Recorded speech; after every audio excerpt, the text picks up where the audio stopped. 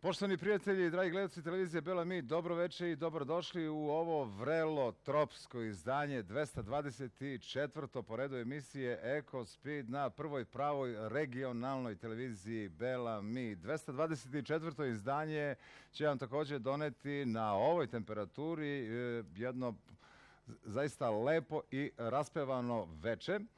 A za sve one koji možda neće večeras gledati ovu emisiju, da podsjetimo da postoje dva reprizna izdanja. Jedno je iste noći 02 iza ponoći i jedno svakog petka u 16.15.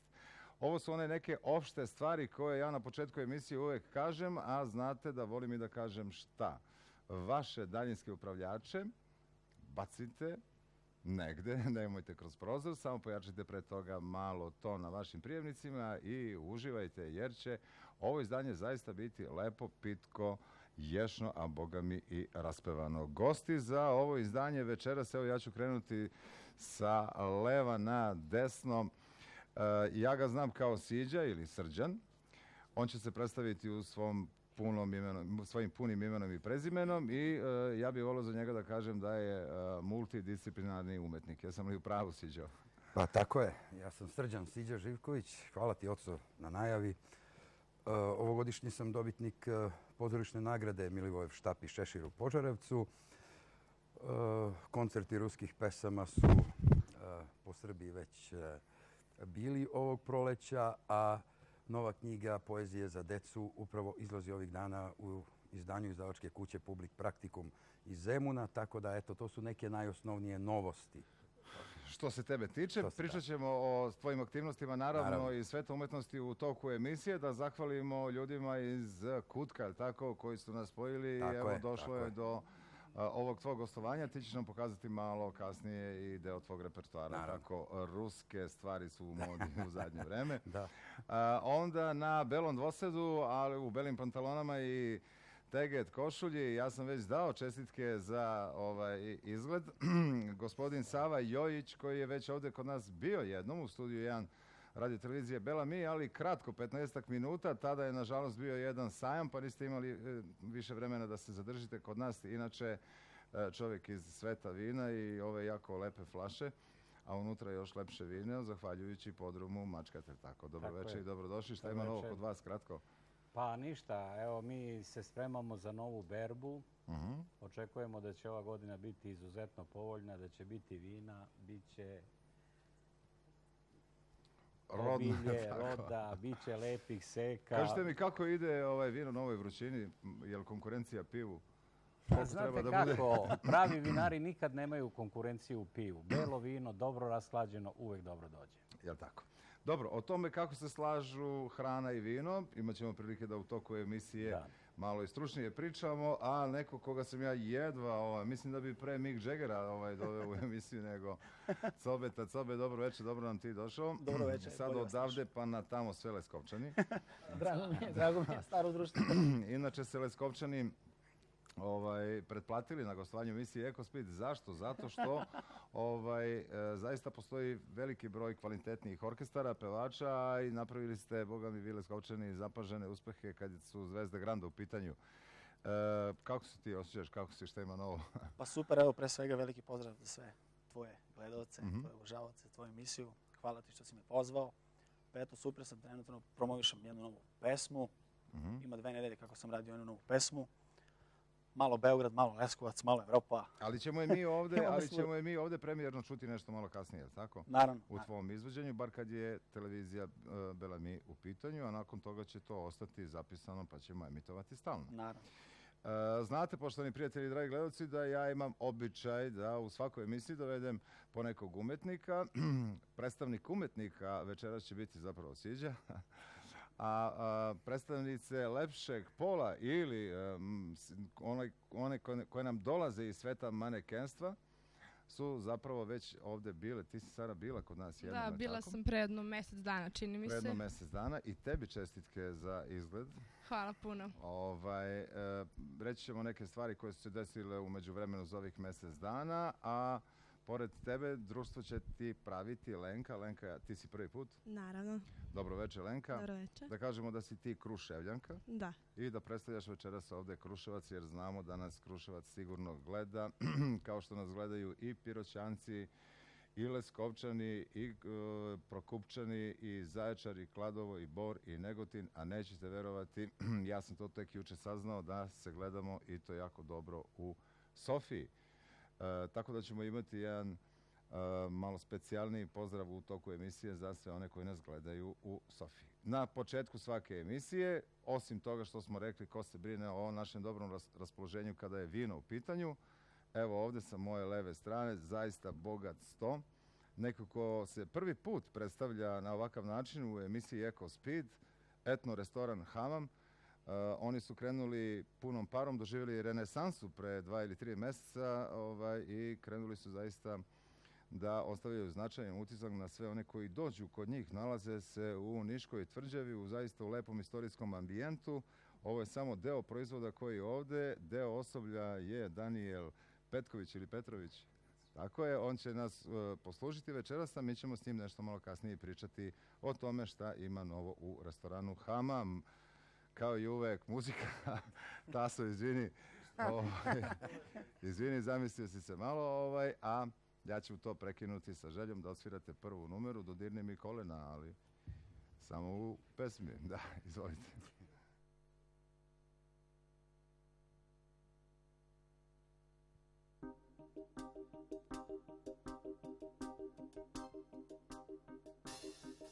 Moja dušice, izbaci bubice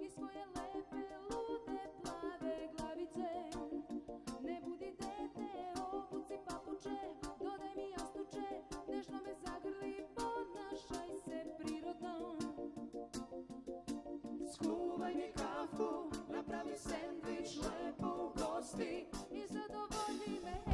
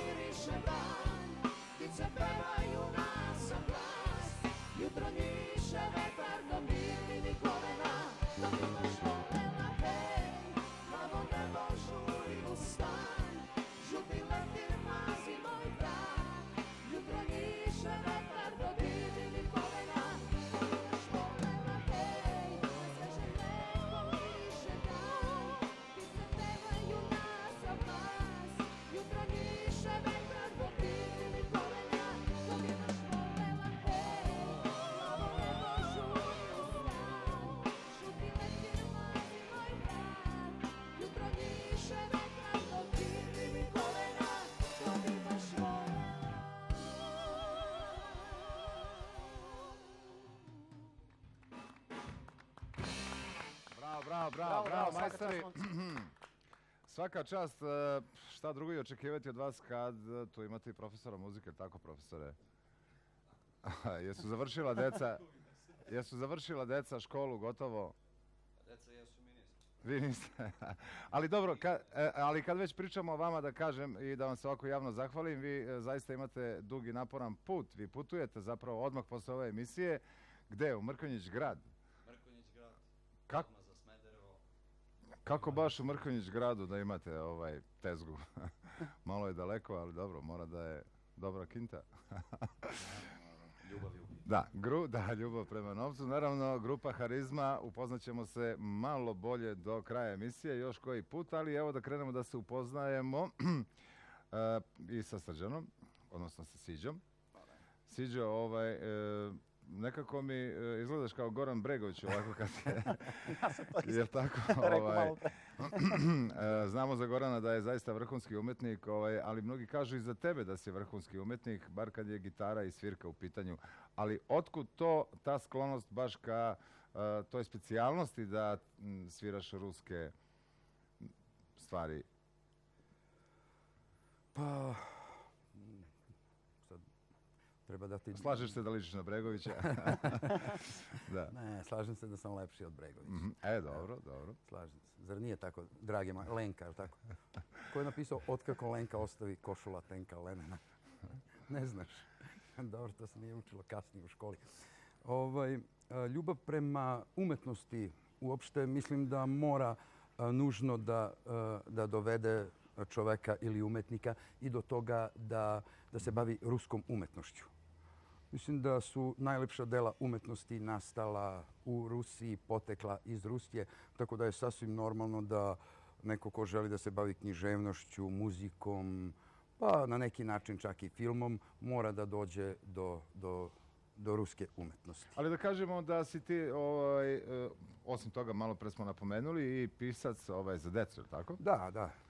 Objavio sam ono, nekoliko knjiga poezije za matore, objavio sam nekoliko knjiga poezije za decu, desetak dramskih tekstova za decu koji se igraju po celoj, po celoj Srbiji. Hip Hop Šajkača je ono 2005. pobedila u Vrbasu, taj moj tekst, a pobuna vaspitnih mera se trenutno igra u nekoliko gradova u Srbiji, tako da... A evo gotova i nova knjiga pesama za decu koja će se zvati Ispod brda smehotresa. Eto da je najavimo, da. Dobro, to je ono što sledi, jel tako? Cobi, e, za tebe smo rekli da se tvoj e, život e, promenio nakon takmičenja u Zvezdama Granda, jel tako? Daleke 2007. Dva, daleke 2007. Ovaj, krenuo si u celu tu priču onako naivno, pretpostavljam, kao i svi kada se prijavljuju, jel? Pa znate kako, ne znam sve istinu ovako. Nemoj da mi persiraš, molim te. Da, ispaće mnogo ozbiljno, da? Prva garnitura kad su bili Darko, Darko Filipović, Filipović, da. Stanja Savić, još šta su me terali društvo, prijatelji, muzičari, Mhm. da se prijavim ja, bilo mi nekako, ne znam, bilo me sramota. Bilo te sramota, Rekao, da. kako ću idem sada, pevam, svi gledaju u mene, rekao, nema šanse. I onda kad sam, posle kad je prošao taj njihov ceo ciklus, kad sam pratio kako su svi oni polako otišli stepeni po stepeni gore, rekao, pa nije loše Još, ajde ja da probam. Rekao, probam i ja. I onda tako, kad je bila audicija u Leskovcu, kad su došli ovi iz Granda, pevao sam, tri, četiri pesme sam pevao i onda su mi rekli da idem dalje. Znači ono nisam trebao da čekam. Mhm, da prođeš kvalifikacije Da. one, nego si već da, otišao kad se dalje završila i ta dalje audicija. I dalje i dokle si dogurao tu u tom takmičenju? Pa na finale šesto mesto sam bio. Šesto mesto, ali samim je uspeh ući u finale, tim je tako? uspeh ući da u opštu u početku prejavi par hiljada ljudi. Da. Tako da, šta misliš o ovogodišnjem pobedniku i ovogodišnjem takmičenju? Dobili Pa- smo pobednika pre Pa nedelju dobili smo dana. pobednika, eto, moj favorit je bila Andrijana Čekić, ali nažalost ona je ispala, pobedio je Stefan, drago mi je, Mhm. momak lepo peva, lepo izgleda, što da ne. Dobro. Za gospodina Savu smo malo pre rekli da je on iz sveta vina. A ono što nismo rekli to je da još u pretprošlom veku je zapravo porodica počela da se bavi ovim mm, stvarima. To, to je porodična tradicija. Naime, uopšte vinogradarstvo je doživjelo jedan veliki uzmah potpisivanjem Karlovačkog mira još 1699. godine. Prvi podaci o našoj porodici kao vinarima, vinogradarima sežu do 1846. godine. Dugo smo to radili onako na kućnom pragu, kako se to obično radi na Fruškoj gori i ne samo na Fruškoj gori. Tek sam ja u posljednjih, da kažem, deseta godina počeo to da radim na jedan drugačiji način. Ja sam inače dotle od detinjstva dosta pio vino i pijem i sada. I onda sve to što sam naučio želeo sam da pretočim sad u proizvod. Jel vas boli glava nekad kad popijete malo Ne, više? ne, ne, ne. Od e, vina iz Mačkovog podruma ne boli glava. E, dobro, ja, sam- ja se malo šalim naravno, ali ovaj, kažu kad je vino kvalitetno da onda posle toga ne boli glava, a obično znamo da se desi drugačije. Evo, Dolazi do neke dehidracije, ali... Jel te bolila ovaj, skoro glava, Cobi? Evo sad ću probam. Da.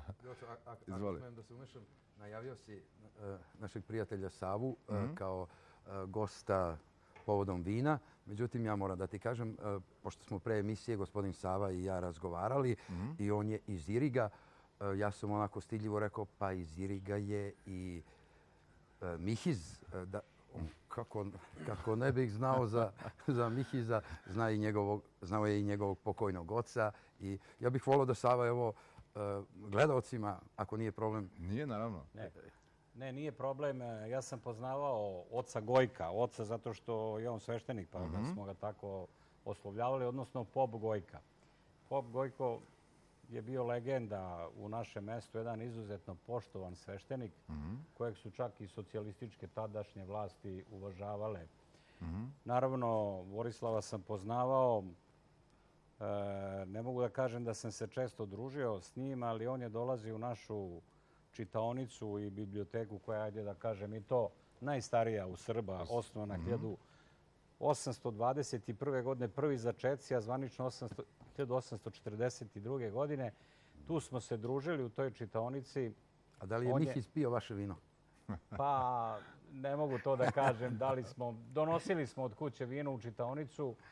Postojao je jedan e, poznati bibliotekar koji je do 8 sati uveče radi. Onda smo se zaključavali i povlačili tamo u zadnje Sigurno prostorije. se pilo vino. Čitali smo pesme, posebno u to vreme bio jesenji nešto. A onda odem u biblioteku, pa komšija ima biblioteku. da. Ali dobro, evo sa- saznali smo i te neke interesantne stvari, a ono što bih ja sada ovaj, e, zamolio Siđu, e, siguran sam, a i ti već to znaš, da nas ovog trenutka, ja sam to malo pre najavio, i gledaju ljudi u Sofiji, u Bugarskoj i ne samo u Sofiji. I znam da tamo jedno dobro i veliko društvo sedi i uživa sigurno isto u nekom dobrom vinu i gleda ovu emisiju i ja inače nemam običaj da ovo radim, ali evo za to društvo koje se okupilo u Sofiji i gleda ovo izdanje, po njihovoj želji jedna ruska pesma koja se zove kako? Pesma se zove Nje mama tiha gavarila. E, I ja molim te... naše prijatelje u Bugarskoj koji nas gledaju večeras. Da. Ajmo da čujemo. Мне мама тихо говорила, Зачем ты отчий дом оставил? Ловил жар птицу в высоком небе, Упал на камни, я без сил. К родным долинам прошел с повинной Твой блудный сын, твой блудный сын. Мне мама тихо говорила, Зачем друзей своих оставил? Прости мне, мама, мои дороги В стране далекой ночь длинней. Пути усталом мне не хватало Моих друзей, моих друзей. Мне мама тихо говорила, Зачем оставил ты невесту? Я знал не меньше красивых женщин, И в этом, мама, моя вина. Из жизни прежней пришел я грешный Туда, где ждет меня она. Мне мама тихо говорила, Зачем забил родные песни? Прости мне, мама, чужие песни чужой прекрасной стороне. Я все забил их, одну лишь помню, что ты когда-то пела мне. Hvala na pomoći, Oto. Hvala. Bravo, bravo. Hvala na pomoći, Belsi. Hvala, Vera. A ovo nismo probali, ovo je zaista onako spontano. tako i premijera bez ikakve probe i nadam se da je to društvo tamo ovaj koje nas sada gledalo zadovoljno. Cobi, ti se spremi. ne, ne, ne pevaš uživo, ovog puta će ići playback, mada ja e, izbegavam da radim to, ali za tebe, s obzirom da si doneo svoj e, novi materijal. Jeste nova, nova pesma. Taso, daj mu molim te mikrofon, neka malo folira. da, neka glumi malo, ovaj, vi ćete kao malo da glumite kako svirate, a mi ćemo svi da uživamo u tvojoj novoj pesmi koja je, pretpostavljam, postala hit, jel tako? Pa evo to, pesma je snimljena pre dve nedelje snimljena u studiju Bojane Zekića kod mog velikog prijatelja. Mhm. A tekst uradio Miroslava Lilović, učestvovali su Bibe Šarvi sa klarinet, Bobi Mrak sa harmonikom.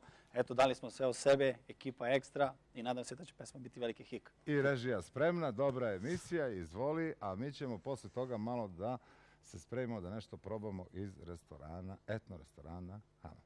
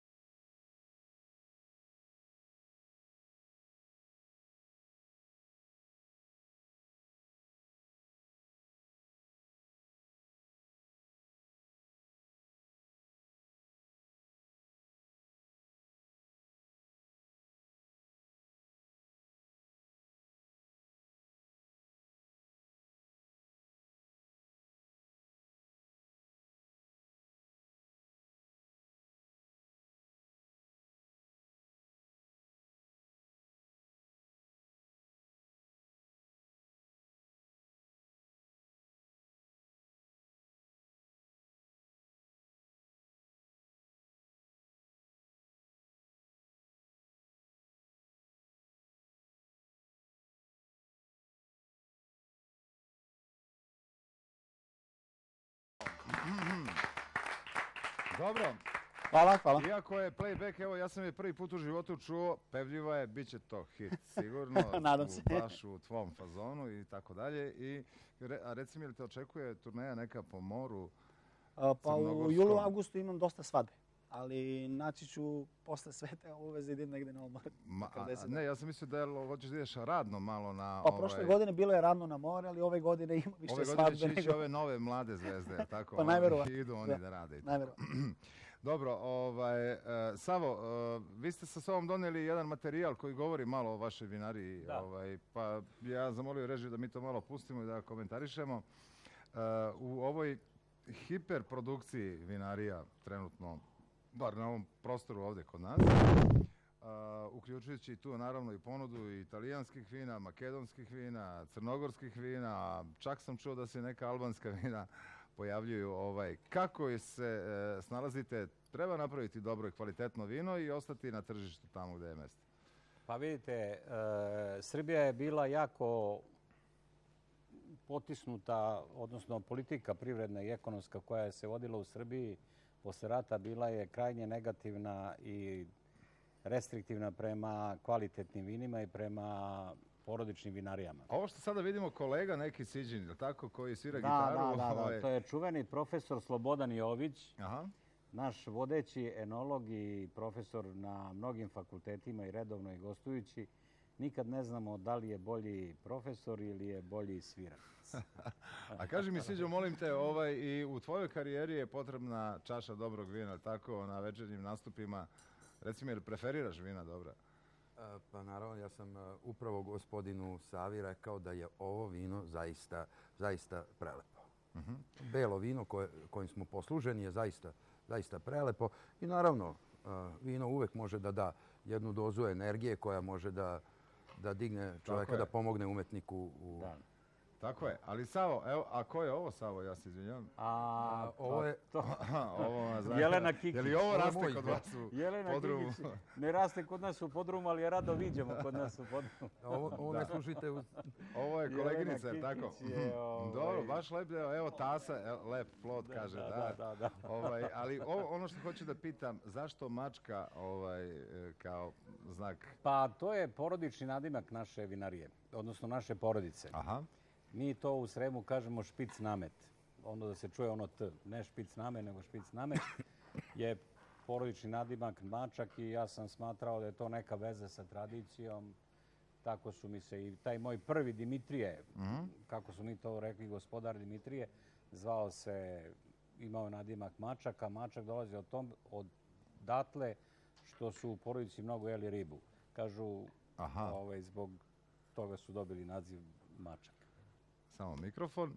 Da, hvala. E, kad smo već spomenuli ribu, e, evo neko ko radi, evo izvoli sada ostavi, molim te, nož i ovaj, viljušku. Rekli smo, Daniel, e, jedan od vojske kuvara i konobara koji rade u etno restoranu Hamam. Rekli smo da je e, Hamam etno restoran doživio svoju renesansu pre otprilike dva mjeseca, da se tamo dosta toga promenilo, pa evo, ajde da čujemo malo od tebe kakvo je trenutno stanje i kakav je raport. Stanje je odlično, znači Mhm. krenuli smo sa radom. E, restoran se promenio, znači tako da je sve krenulo iznova. Mhm. Hrana, kuhinja, sve domaće, znači domaća kuhinja preferiramo. Da kažemo da se tamo sve malo ovaj i renoviralo, da je to dobilo Da. malo i ovaj taj baš izgled koji odgovara i tom ambijentu gdje se nalazite, a to je Niška tvrđava. Ovo što sada vidimo u studiju 1 radio televizije Bela Mi zaista izaziva zazubice, pretpostavljam kod svih gledalaca, pa će oni doći, ako ne veče- večeras, već vrlo brzo, ali reci mi šta sve mi sada ovdje imamo? Gospodin Sava malo pre spomenuo ribu, ali vidim da imate ribu i morske plodove u vašem restoranu. Imamo, imamo sve, znači što se tiče roštilja, e, domaće specijalitete, nešto od naših specijaliteta, recimo e, za gospodu imamo e, svinski file sa prelivom od kajmaka, za gospođe piletina sa prelivom od A paradajsa. to je ono čuveno jelo za nju i njega, jel tako? Tako Imate je. komplet kada dođu momak i devojka ili muž i žena, onda oni imaju kompletan meni koji se zove za nju i njega, jel tako? To je neke naše specijalitete. Puno salata vidim da, Da. imate. E, Dobro.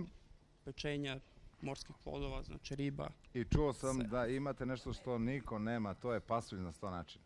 tako je.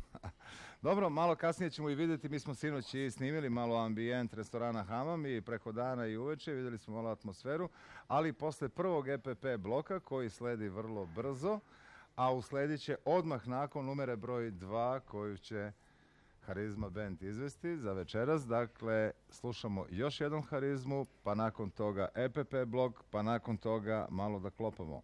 Jel može? Izvolite.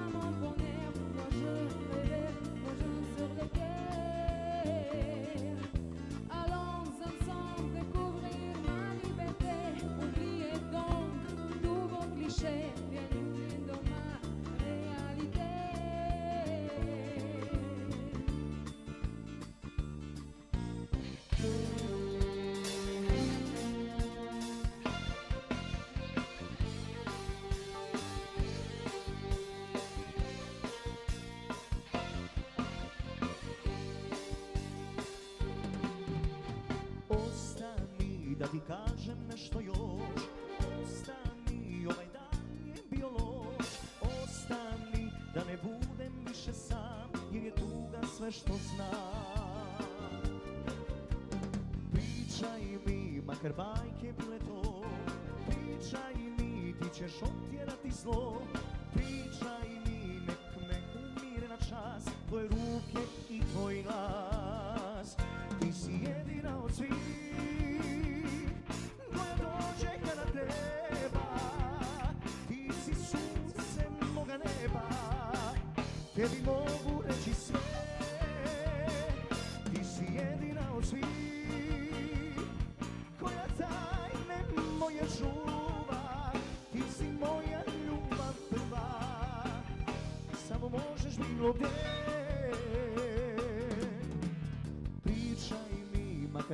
bajke bile to. Pričaj mi, ti ćeš otjerati zlo. Pričaj mi, nek me umire na čas Tvoje ruke i tvoj glas. Tvoje ruke i tvoj glas. Tvoje ruke i tvoj glas!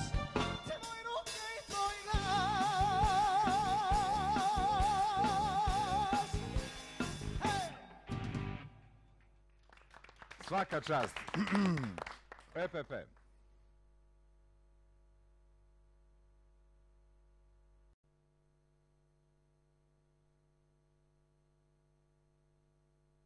Da, evo nas posle prvog i jedinog bloka reklama u ovom 224. izdanju emisije Eko Speed. Ukoliko ste se ovog trenutka uključili, znajte da imam zaista lepe, interesantne i raspevane pre svega goste večeras, pevači, muzičari, osnov druženja ovde, ali imamo i devojke koje su, rekli smo na početku, iz sveta manekenstva, fotomodeli, eh, Lenka i Sara. Mm, Sara, ti si učestvovala eh, na izboru za Miss Sparkle, jel tako i na Fashion Weeku koji se održava Da, tih je. dana, jel tako? Mi smo pričali o tim stvarima, ali pre otprilike dve nedelje, ako se ne varam, je održana jedna lepa, interesantna modna revija. Mislim da smo dobili i snimak sa te modne revije. Beat Fest je u pitanju. Da, tako je.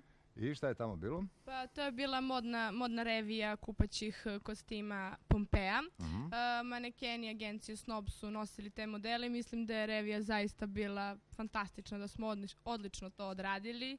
Ovaj, dobili smo velike pohvale. E, ja sam lično bio prisutan na toj reviji, do duše tu sa strane i vidio sam da je bilo zaista dosta posjećeno i da ste dobili aplauz ovako generalno za izvedenu reviju modne kuće Pompeja i kupaći kostima. Evo vidimo sada e, deo atmosfere sa te revije. Reci mi, jel planirate još par ovakvih revija u toku leta i šta, koje su aktivnosti agencije Snob? Pa, sledeće je 19. jula, Fashion Day u Prokuplju. Um, nisam tačno sigurna, ali mislim da će takođe biti modna kuća Pompeja, još mnogi drugi, ne znam baš sve detalje. Ono što ja znam da će na jesen da se pripremi i organizuje Fashion Week još jedan, je tako, na kome ćete učestvovati? Da, tako je. Ovaj Fashion Week je zaista protekao odlično, s obzirom da, je, da se organizuje prvi put posle toliko godina i nadam se da će ovaj drugi biti još bolji sa još poznatijim brendovima i da će Tako je, sa više dana i sa još više manekinki i tvojih koleginica i tako dalje. Tako. Dobro. Srđane, malo pre smo vidjeli i čuli za široki auditorijum i pogotovo za one koji su u Sofiji i u, u Bugarskoj, kako to izgleda izvođenje ruskih nekih stvari kad si ti u pitanju, a inače da kažemo da ti sviraš sve i svašta, ako je ovo pravi izraz, sve i svašta. Ali ono što sigurno znam da je tvoj repertoar širok i da znaš da zabaviš bilo koje društvo, bilo gde na planeti, jer tako? Pa da, evo ja sam Lenku pozdravio malo pre, uh, otkako Lenka ostavi košula Tenka Lenena, ona ne zna Kostu Racina, to se, to, od kako se raspao Ona SFRJ. to- Prva godina, ona je prva godina srednje. Možda će, treće, jel da? Možda će u četvrtoj Ja imati... bih hteo Sidi da pomognem, ali velika muza i inspiracija našeg čuvenog pesnika Laze Kostića se zvala Znam, Lenka Duđerski. Naravno da znam. A što se tiče Sare, uh, Ivrica Jusić je napisao jednu od najlepših, najlepših pesama. Ne znam, Sara, da li znaš tu pesmu?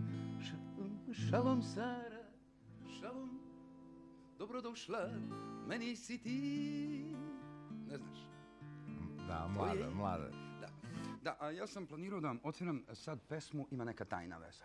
Zašto? To je pesma koju ovako dosta ljudi Pa peva. baš sam teo to da te pitam, da li znaš nešto Bregovi od Bregovića i to?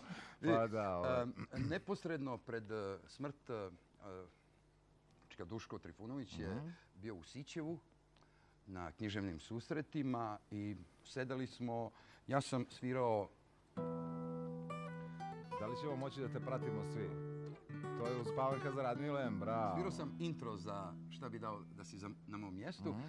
kad je došao Čika Duško sa dve žalfijevače ovako i rekao Ja sam išao na Borike kad su to spremali, ja sam Goranu rekao, to mi liči na ono, proljeće je otpočela s vjetrom. I evo, u sećanje na Duška Trifunovića, ja ću...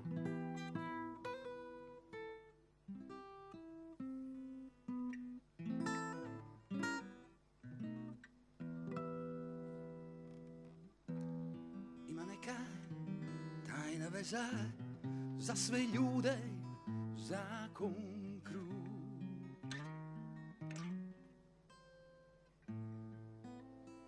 Njome čovjek sebe veže kada bira sebi put. Sidro koje lađu čuva da ne bude buri plijen. To ne skupa sa tom mlađom, jer je ono dio nje. Ima neka tajna veza, tajna veza za sve nas. Ima neka tajna veza, tajna veza za sve nas. Ima neka tajna veza, tajna veza za sve nas. Ima neka tajna veza, tajna veza Daj na za zasvej nám. Pa još jednom ovako sad svi da otpajmo taj refren. Ima neka tajna veza, tajna veza za sve nas. Ima neka tajna veza, tajna veza za sve nas. A, Salalvera! Svaka čast. Stvarno si lepši od Bregovića. Lepo mu stoji neka gitara. lepo mu stoji gitara. i ove Ko naše Antonio ove- Banderas, je, ono, da, da. A, a i ti si I ovaj ona nešto- manekenka iz vinarije mi lepo stoji. Da. Ovaj, a i ti si recimo ovako za neke španske serije baš onako lik koji, bi- koji bi i mogli da, jel da, da se Čak, čak je neko na Facebooku otvorio lažan ovaj profil Cobeto Fernando Torres. Facebooku. Fernando. Ali molim te, evo sada, ovo, ovo je dobra prilika da te pitam ovaj, neke stvari. Pitali su me ljudi, ovaj, pošto znaju da sam ja iz sveta show biznisa, da li ja možda znam šta znači bambole. Ja stvarno nisam znao da im kažem šta je bambole. Veruj mi, nemam pojma. ne, pa to je, to je, To je vrsta... ne znam, kao Stoja što je pevala onu, što je pevala Stoja onu pesmu Aj čiki čiki, Da, da. šta to znači sad Aj čiki čiki. Da, imaš mikrofon, ne, ne, imaš Pa mikrofon. možda je Taso. čiki, evo. Taso, imaš mikrofon, da. Dakle, i ti ne znaš šta je Ne to, ali je To je stara lego... bugarska pesma koju sam ja obradio. Eto, Bugarska su pa- pesma? Bugarska pesma, da. Eto, to nisam znao Da, to su pevali je kristali. orkestar. Jocko, to je- Pa to je baš lepo da u Bugarskoj, da, ali reci mi, molim te, ni na bugarskom se ne zna šta to znači, jel? Mhm. Red Bull, da, da, svi, svi zna, ali Sexy Bull. da.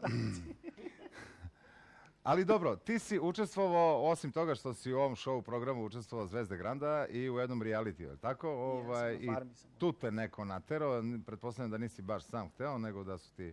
Ne, pa znaš kako, imaš ponudu, oni te pitaju da li želiš ili ne i onda ti... Da, Naravno, oni ja su te sam pitali. pristao, pristao sam na prvu loptu i otišao sam na farmu. Dobro, i prvi dan kad si bio, jesi se pokajao ili nisi? Pa prvi dan bio mi interesantno, ono, prvih nedelju dana. E, posle kad sam shvatio šta me tek čeka tamo, onda pokajao sam se. Jer zaista teško tamo kao što ovaj, pričaju ljudi kad si izolovan jeste. sa mnogo Kako ljudi, različiti karakteri. Kako izgleda na televiziji, tako je. Znači, nema ništa foliranja. A koji na tebe ostavi najveći utisak tamo, ovaj, recimo, i pozitivan i negativan, recimo dva, ako, kojih se uvek setiš to, kad pričamo o tom periodu, recimo, Pa pozitivan, više ima onih pozitivnih, a manje onih negativnih. negativnih, ili tako. Dobro, ali mi smo pripremili jedan insert sa YouTube-a, naravno, Ja, evo, evo vidjet ćemo. Da, ovaj, ni ja ne znam o čemu se radi, ljudi iz naše realizacije su to pripremili, da, ali evo vidjet ćemo sada o čemu se radi. Dobro večer, evo ja sam ušla u baraža opet. Samo da znate da sve znam. I nemoj tu neko da mi se folira. A ti, Sanja, si zaljubljen u mene? Da, jesam. Bane, ljubavi. Bane! Pa gde si ti, Bane? Jao, Bane, ljubi, lele, ne. Hoću da kažem samo da sam ja ovde najlepša i da su svi ljubari na mene. Da razjasnimo nešto, da razjasnimo nešto. Da razjasnimo nešto. Meni je toliko drago što je Katarina došla. Napunila mi je baterije. Ono pismo, ono pismo, ja Dobro, Cobi, evo, ovo su bili lepi trenuci, jel tako? Ovaj, Dobro, tu sam imao zadatak da se, da se prerušim u ne povratilo se. Bilo ne povratilo se, da. A reci mi, jel bi prihvatio kada, kada bi ti ponudili sad ponovo neki ulazak? Naravno, neki? što da ne, uvijek. Bi, jel? Naravno. Dobro, bez obzira na ova Sve iskustva, to, sve evo, je posle, to, posle svega sve mi je to kao ne- neka vrsta jel tako? uspomena, stvarno.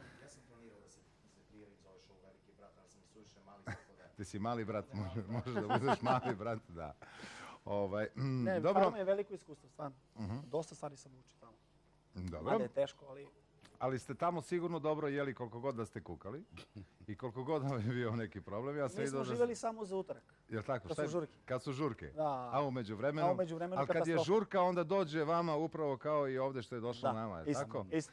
Ovaj, hoćeš da dođeš, molim te, Danijele, još jednom ovdje na svoju poziciju. Dakle, mi ćemo sada pogledati deo materijala koji smo jučer snimali ovaj, u restoranu, u etno restoranu Hamam u Niškoj tvrđavi i vi ćete malo uživati zajedno sa nama. A ja ću Danijela usput zamoliti da dok mi uživamo ovih par minuta, dok gledamo taj materijal, servira malo i za ovaj naš sto, a i za ovaj sto gdje su nam gosti i da mi malo degustiramo od ovih stvari koje imamo ovdje u studiju 1 televizije Bela Mi. Režija, molim, dva minuta etno restoran Hamam iz Tvrđave.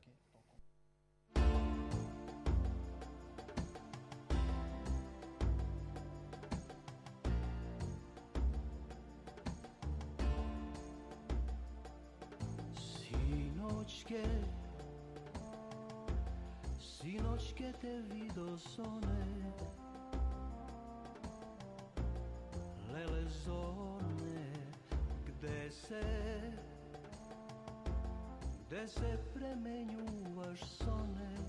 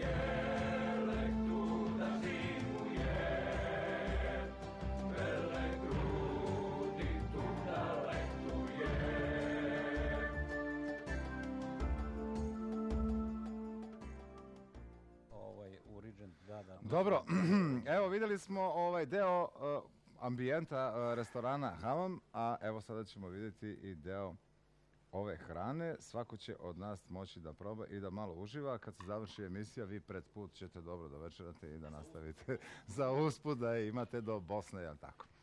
Uh, Cobi, malo pre smo rekli da ćemo te čuti ovdje i uživo, jel tako? Naravno. Ovaj, pa ćeš ti sad polako da zauzmeš svoju poziciju ovdje pored Tasa, a da ja još malo pričam sa gospodinom Savom. Evo, vidjeli smo sada i u ovom prilogu koji je bio, a i ovdje na stolu te flaše koje predstavljaju koja vina, zapravo od kojih sorti?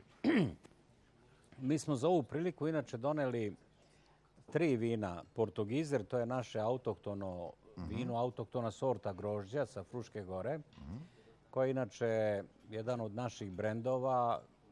Zatim doneli smo Chardonnay od belih vina i Camerlo od crvenih vina. Da, a ovdje pošto imamo i ribu u restoranu Hamam, naravno uz ribu Da. ide... Ja mogu da kažem da se naša vina prodaje u restoranu Hamam Da. i da uz njihovu ribu jako dobro se spaja ili venčava, što bi reš, rekli francuzi, Lepi naš chardonnay.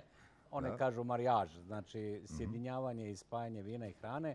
Jako dobro ide naš chardonnay uz njihovu ribu. Da. Dobro, mi ćemo to i degustirati evo malo ovdje u studiju, a Sobi i Harizma su spremni, Tasa i Sobi se dugo nisu vidjeli, pa malo da se ispričaju, jel tako? Komšije, komšije. Ovaj, a možda Stari ćemo prijatelj. imati, hoćemo se o, pomoći, jel tako, u pevanju, jer imamo i... uh, Mi ćemo biti Simano. ajmo da vidimo šta ste vi to spremili.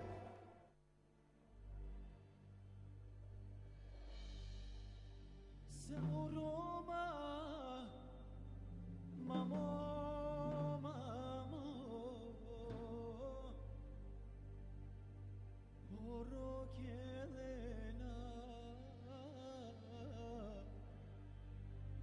Porok Jelena,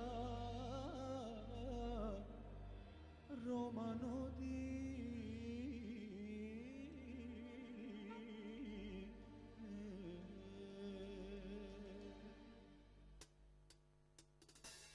Drugovi odoše, a ja osta Nema zvijezde danice Nema zvijezde danice Moje saputnice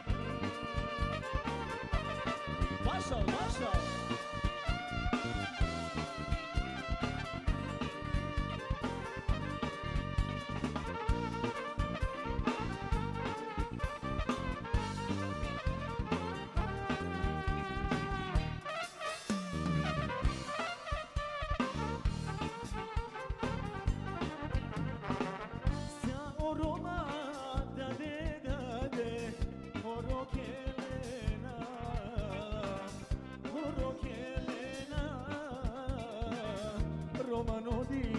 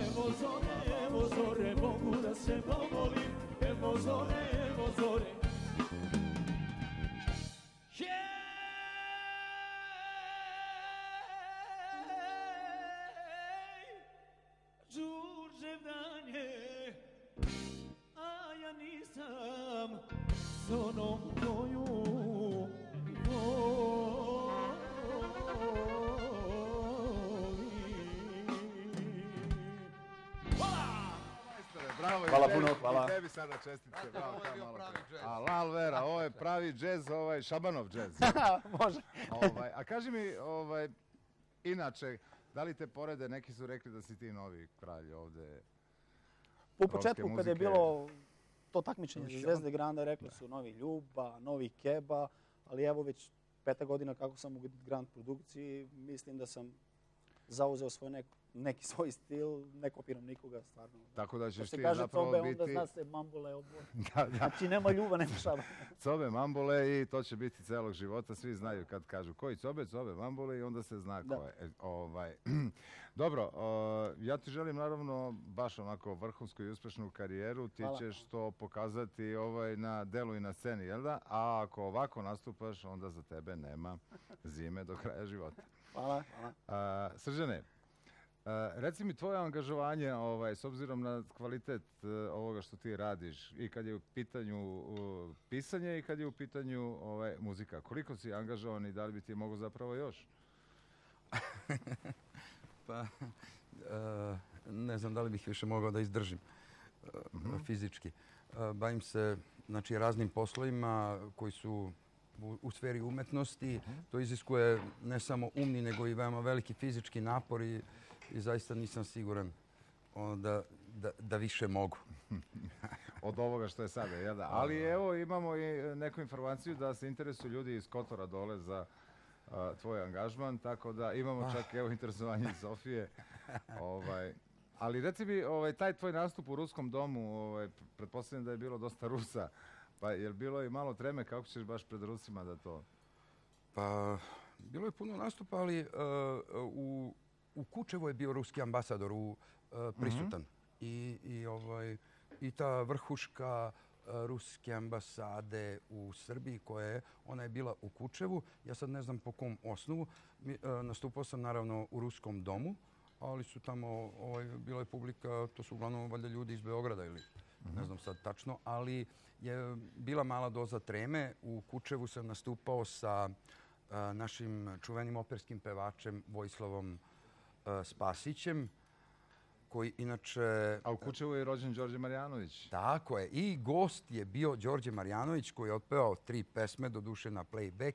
Sedeo je u prvom redu i posle je ustao da otpeva nešto. Ja sam, ja sam već bio ono pripremljen da ga pratim e, da ga, da ga pratim ono da malo otpevam ono zna, e, ko nekad u osam ili tako nešto u neko što Ajde, molim te, uzmi gitaru sada. Ajde, u nekoj sporijoj varijanti, znaš ono e, Da vidimo to kako je ko nekad u osam. Gospodin Sava, sigurno će mu ovaj, leći ova pesma. Ko nekad u osam i sad prođem ulicom tvojom i stanem ja pod prozor tvoj. Ko nekad u osam i sad zviždim ulicom tvojom kad stanem ja mada znam nisi tu, stojim kao u snu, mislim negde u daljini čućeš ti. Te kišne kapi na oknima zadnje suze dve. U očima zaboravljeni sni. I znaj ko nekad u osam i I sad prođem ulicom tvojom. I zviždim tad Naš stari znak I zviždim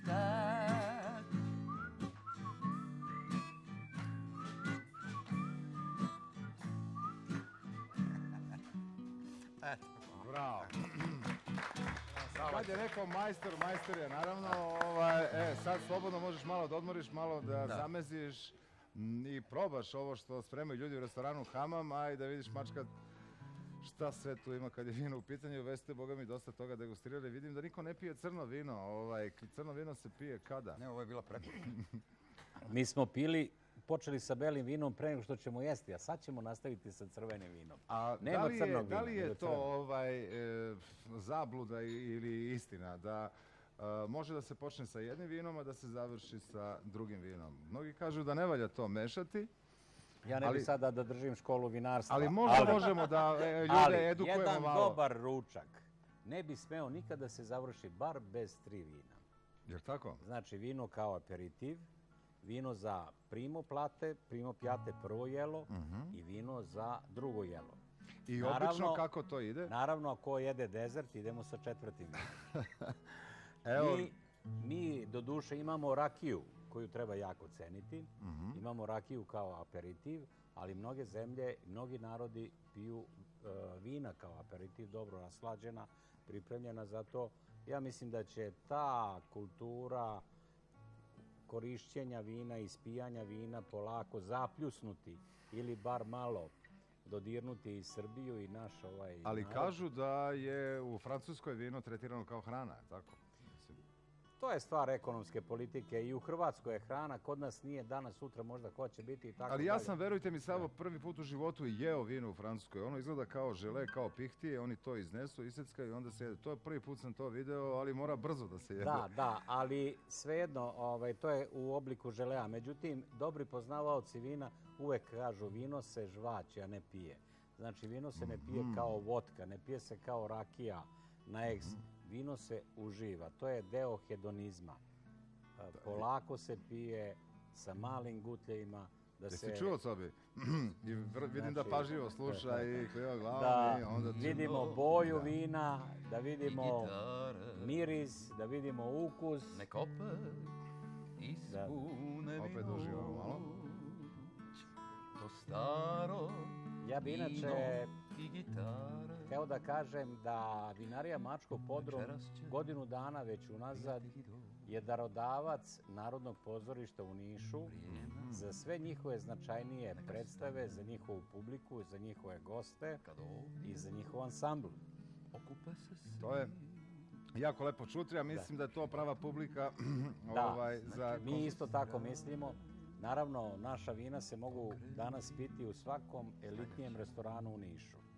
A gde se mogu nabaviti? I naravno u restoranu Hamam koji je naš domaćin večeras. Mogu se nabaviti u metrou, Merkatoru, Ima u Rodi.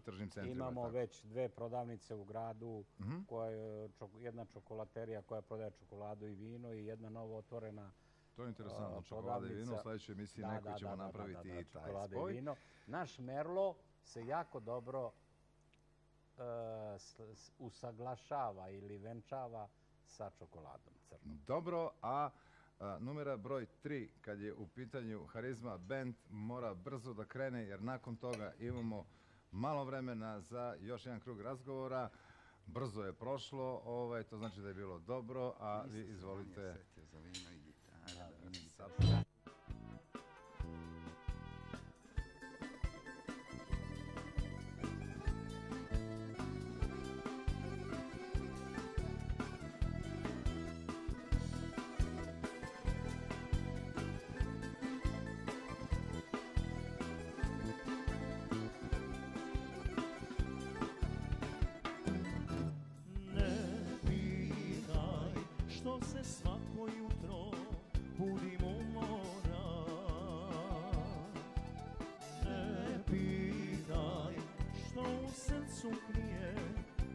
Što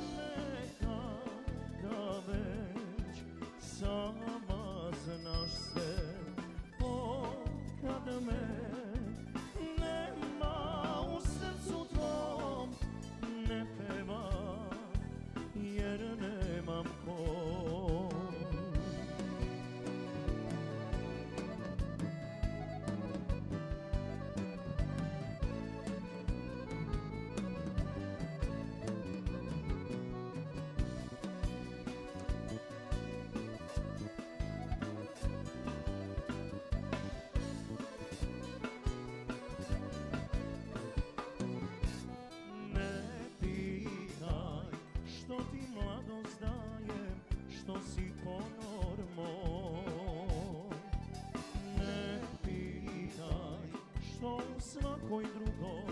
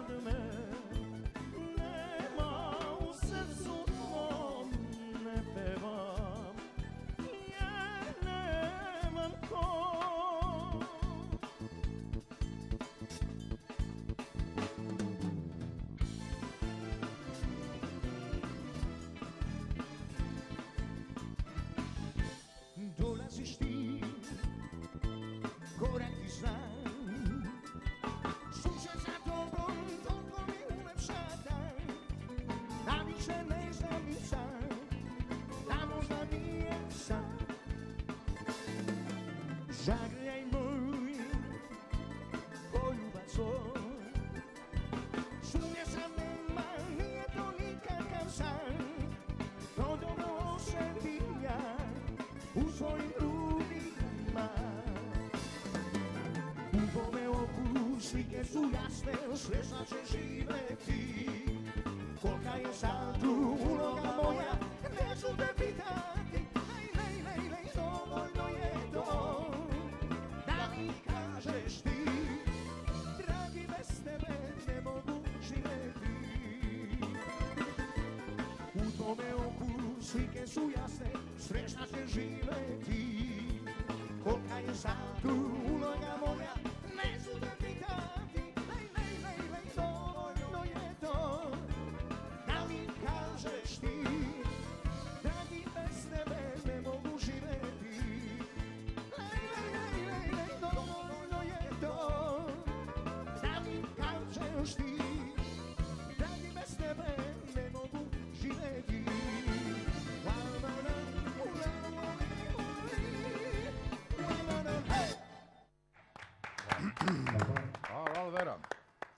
se ti prijaviti tasno na ove zvezde Granda? Velike.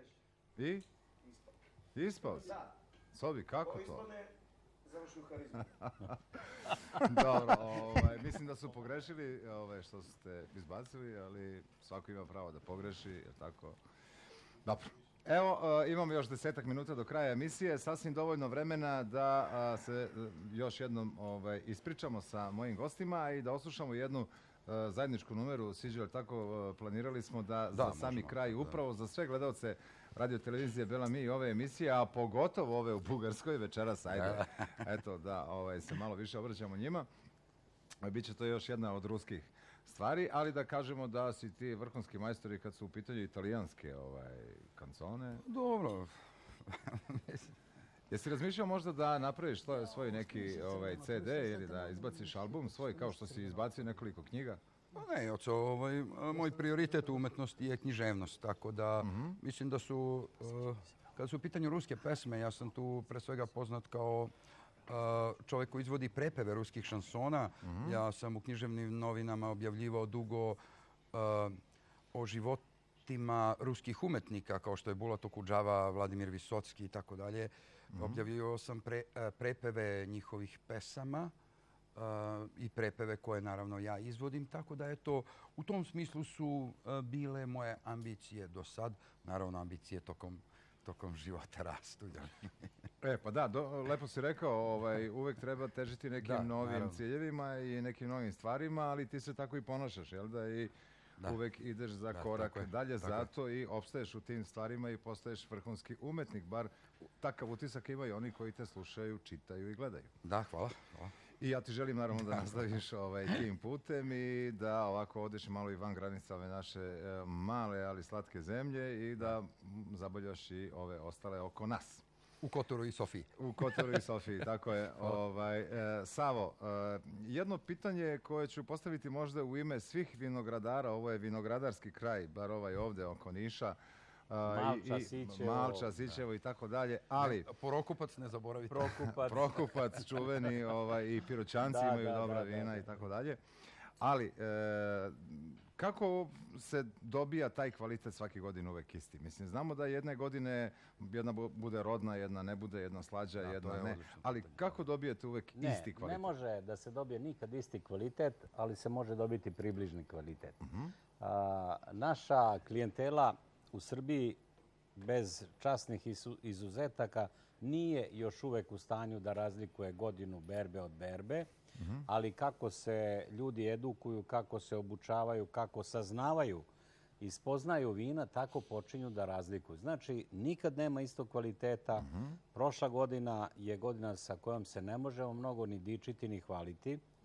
Mi, Kakve su predispozicije ove godine? ove, sjajne. Ako ova godina ostane ovako kako je započela, ovo će biti jedna godina koju ćemo zabeležiti izuzetno kao jednu dobru godinu, jednu dobru berbu sa jednim ekstrativnim Emisija punim uživo iz. Iriškog vinogorja. Tako je. Pozvat ovaj- ćemo vas. Da, da, da dođemo, ali, ali- kad je berba. I onda ja bih da... želeo da kažem šta je moto naše vinarije. Mhm. Dugo, dugo sam čitao, ne dugo sam čitao, ja izuzetno volim persijskog pesnika Omara Hayama, koji je u jednoj svojoj tetrahiji, kako je on zvao svoje Mhm. pesme, rekao biće vina, biće meda, biće mleka, biće lepih seka. Ja, naša vinarija, sve to sažima i kaže znati piti, znati živeti. Znači, sa slogan. vinom, Mhm. a ja sam sve to, mislim, ništa nisam gadljiv na to, ni na vino, ni na med, i sve to što ide. Da, što ovaj, ide doći ćemo mi sigurno Da, ovaj, i ja ću da vas pozovem, inače Ali vinarija... mogu i e, Sara ne, i... ne da mogu, one moraju. Su. Jer vinarija Mačko Podrum će prvi put organizovati ove godine a, tradicionalno muljanje grožđa. A to je, To je ono, znate, devojke ono, kada... u Devojke, sutnicama. aha.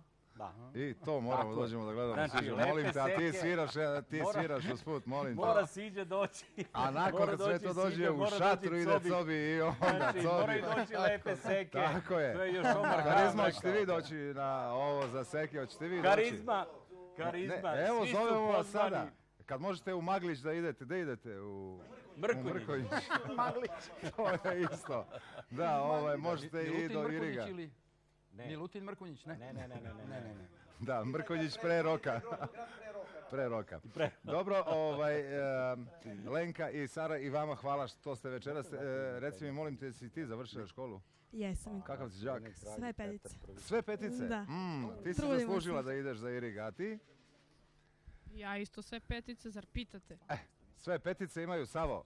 Ove devojke imaju sve petice, završile školu i one će morati da dođu ovaj, i da... One će da dođu da nam pomognu Tako da je, zauzmi grožđe svoju i poziciju. lepo vino. Da. Ne dobro, nego lepo. Tako One je i još ćemo proširiti to lepo. društvo. Agencija Snob će se recimo potruditi da to društvo bude zaista lepo.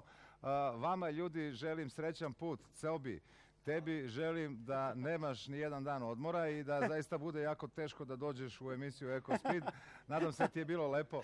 Bilo mi je stvarno prelepo. Ovaj, mm, Prelepo, hvala što Ja uvek pitam za utiske jer čak i Miroslav Ilić i Šaban Šaulić i Luis i svi ovi, sve ove tvoje kolege nisu znali da vi mi u regionu znamo da napravimo nekad lepo Stvarno, interesantnu ja sam stvarno emisiju. iznenađen. Emisija je stvarno super, samo nastavite tako. Da, i prenesi to svojim drugovima, Preneću. kolegama i prijateljima, a mi ćemo pratiti tvoj rad. Kad god nešto imaš interesantno, slobodno dođi. Važi, ovaj, dogovoreno, nazovi ti sada prijatelj ove kuće. Izvolite. Regionalne emisije su tople i sa dušom. Tako je.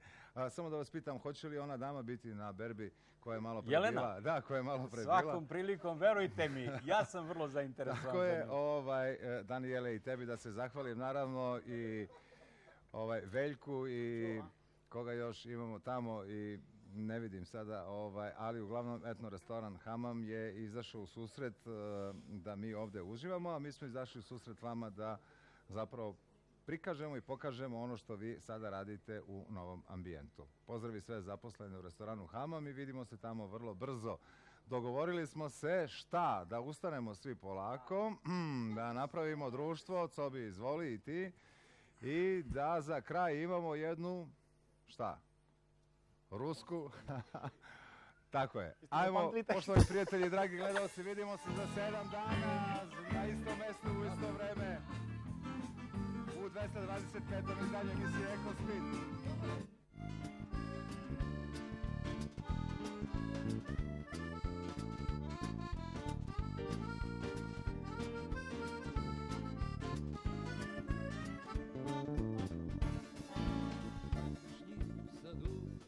Слышишь все